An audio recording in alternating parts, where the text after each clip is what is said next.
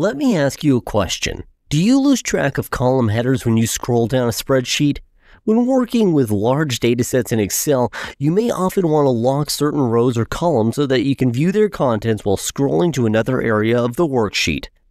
In this video, we fix that by freezing rows and columns in Excel using only two steps. So let's dive in.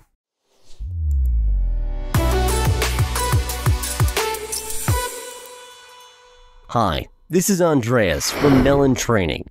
So our goal is to freeze cells in Excel to keep them visible while you navigate to another area of the worksheet. And the first step is to select something, in this case to select what you want to freeze. And step two is to activate the freezing on this selection. Okay? Here we have two header rows, and when we scroll down the sheet, we want those two rows to be visible all the time. When you want to freeze multiple rows or columns in Excel, it's very important what cell you select before you freeze it.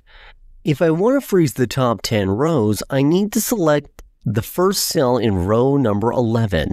In our case, we wanted to freeze the top two rows, so step 1. I need to select the first cell in the row number 3, so cell A3. Or I can select the row right below the last row that you want to freeze. It's exactly the same. Let's click on A3. So everything above the selected row will be frozen. Step 2 is obviously to click to freeze the cells, and you can do that from the View tab. So let's click the View tab, hit the Freeze Panes button. Nice then freeze panes. As a result, you'll be able to scroll through the sheet content while continuing to view the frozen cells in the first two rows. Now how cool is that? To undo the freezing, click the same button again and unfreeze panes. Keep in mind that Excel allows freezing only rows at the top of the spreadsheet. It is not possible to lock rows in the middle of the sheet. Now, if your dataset only has one row worth of headers, it's very easy to freeze the top row. You just go to the View tab, hit Freeze Panes, and hit Freeze Top Row. Then it's now frozen and always visible when you scroll down the sheet. So you don't need to select any cell like before. Freezing columns in Excel is done similarly by using the Freeze Panes commands. So in this case, we have a large worksheet with a bunch of data. If I scroll to the right, I can't see what's in column A, B, and C, for example. In case you want to freeze more than one column, select the column or the first cell in the column to the right of the last column that you want to lock.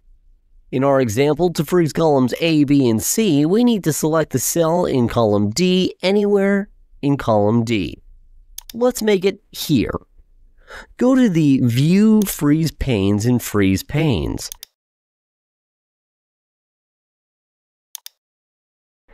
Now, when we scroll to the right, you can see that the first three columns are always visible, as indicated by their thicker and darker border, enabling you to view the cells in the frozen columns as you move across the worksheet.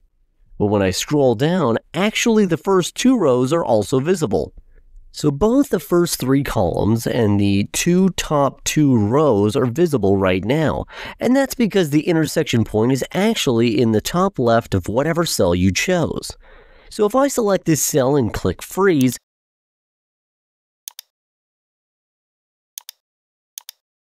these cells will be frozen. If I select this cell these cells will be frozen. And because I selected this, you can see these rows, and these columns are frozen. Keep in mind that you can only freeze columns on the left side of the sheet. Columns in the middle of the worksheet cannot be frozen. If you learned something new today, then please hit the like button. And don't forget to subscribe so you don't miss out on my future Excel videos I publish every week on this channel. Also, I have something for you. I've made a free three hour online Excel course covering these exact topics and more than 30 hacks and tips.